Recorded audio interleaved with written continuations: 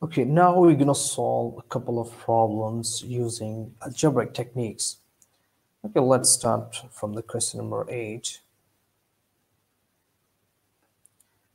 It's given that if y equals 4 when x equals 8, we have to find y when x equals 2.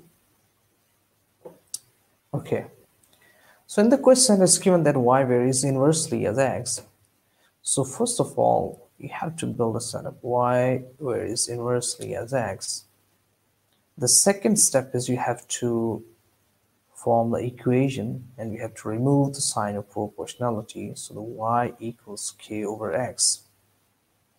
Okay, now we have to figure out the value of k and it's given that if y equals 4 when x equals 8 so just you have to substitute these two values. Y is 4 and x is equal to 8 y is equal to 4 and x is equal to 8 so k will be equal to we have to multiply 8 on both sides. So k equals to 8 times 4 32 so this is the value of k and this equation you can you can name it equation number one. So the equation number one will be like this. Y equals 32 over x. Okay.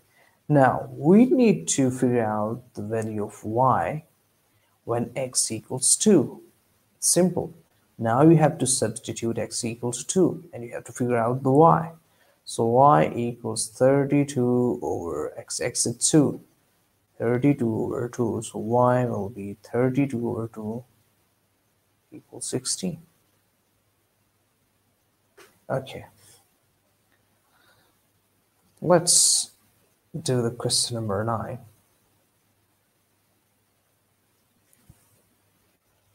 okay. Question number 9 is y equals negative 7 when x equals 3, we have to find y when x is negative 3. Okay, pause the video and try to figure out the problem. Okay, the same steps like we have to write y varies inversely as x set up the equation y equals k over x. Plug in first two values of x and y. Y is negative 7 and x is 3 to figure out the value of k. Y is negative 7 and x is 3 you have to figure out the value of k. You have to multiply 3 on both sides. So k will be 3 times negative 7 negative 21 so the equation will be y equals negative 21 over x. Okay, now we have to find y when x equals negative 3. Okay, plug in x equals to negative 3 in this equation. y equals negative 21 over negative 3. So negative 21 over negative 3 will be y equals 3 sevens or 21. So y equals 7. This is the answer. Hope it makes sense. Okay. Now, question number 10.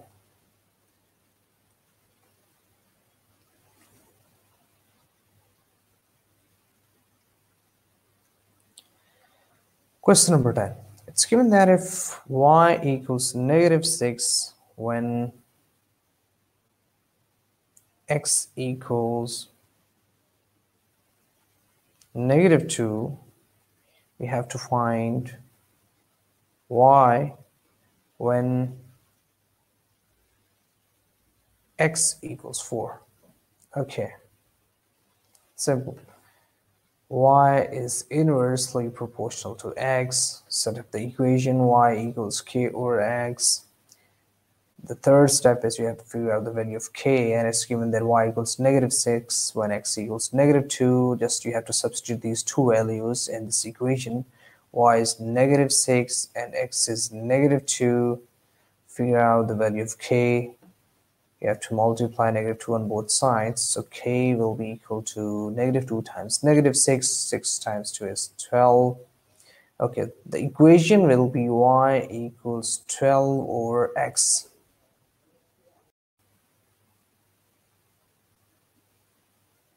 Okay, so as it's given that we have to find y when x equals 4 just plug in x equals 4 in this equation y equals 12 over 4 so y equals 12 over 4 4 1 is 4 and 4 3 is a 12 y equals 3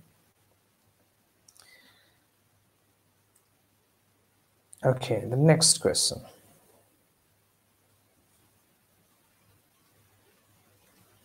Question number 11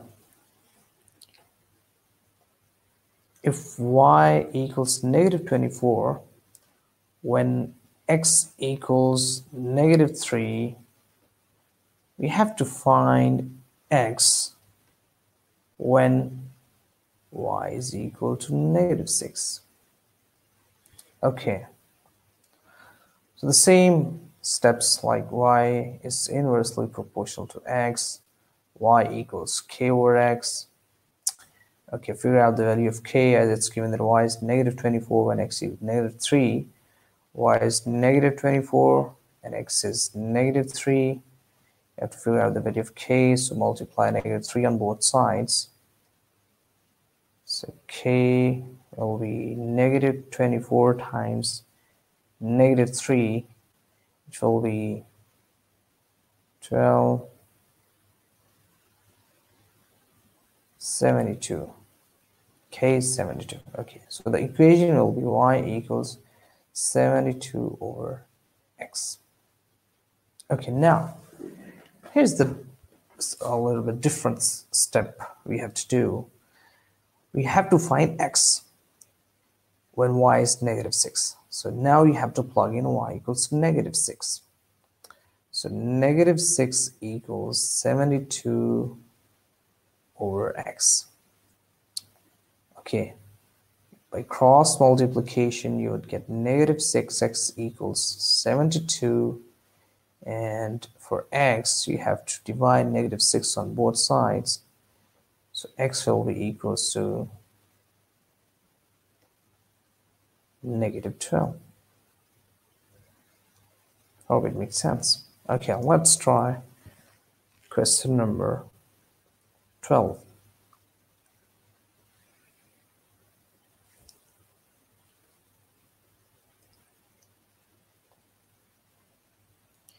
Okay, question number 12. It's given that if y equals 15 when x equals 1, we have to find x when y equals 3. Okay, pause the video and try to figure out the problem because it's this it's just like same as we did question number 11. Okay, so y is inversely proportional to x, y equals k over x, and uh, we have to plug in x and y, y is 15, and x is 1, so k equals 15. So the equation will be y equals 15 over x. Okay, we need to figure out the value of x when y equals 3. So just you have to plug in y equals 3 in this equation. Y equals 3 equals 15 over x. And x will be just like you. And you have to do the cross multiplication. You would get x equals 15 over 3. x equals 3, 5, or 15, 5. This is the answer.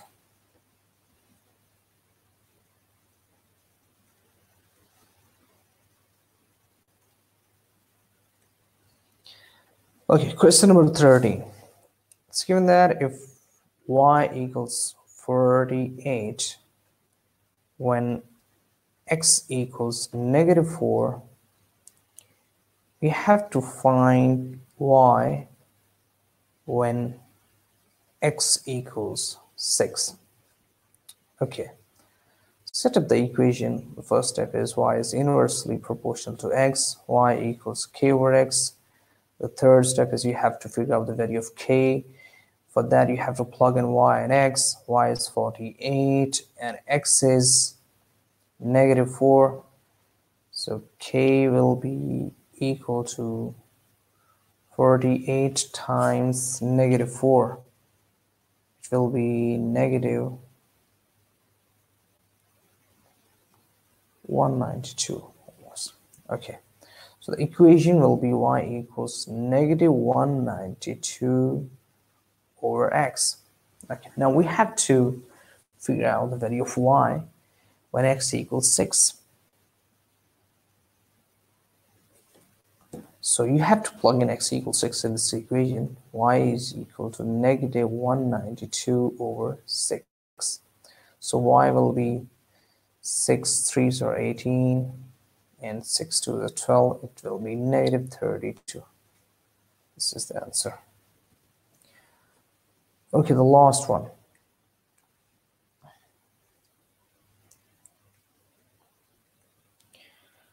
It's given that if y equals negative 4 when x equals 1 half, you have to find x when y equals 2. Okay.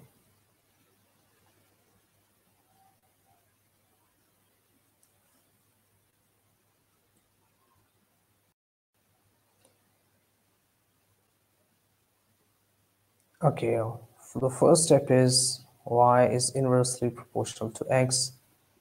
y is equal to k over x. As it's given that y is equal to negative 4 and x equal to 1 half, we have to plug in these two values, negative 4 and 1 half.